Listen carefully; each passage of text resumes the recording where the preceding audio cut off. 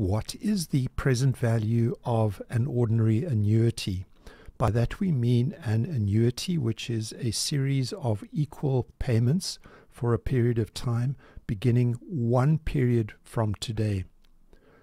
See the link in the description for the reference to the example in the Finance Fundamentals reading that we will be using. This is to calculate the value today of 12 monthly payments of 10,000 Rand each, given an applicable interest rate of 10% per annum compounded monthly. The first payment will be made one month from today, confirming that we are dealing with an ordinary annuity. Orange shift clear all is the standard beginning to any time value of money calculation. We have 12 monthly periods. Enter that as N.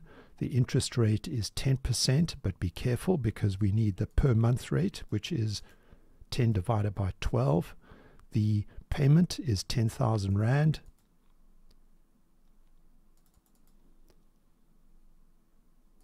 And we solve for present value which is 113,745 Rand.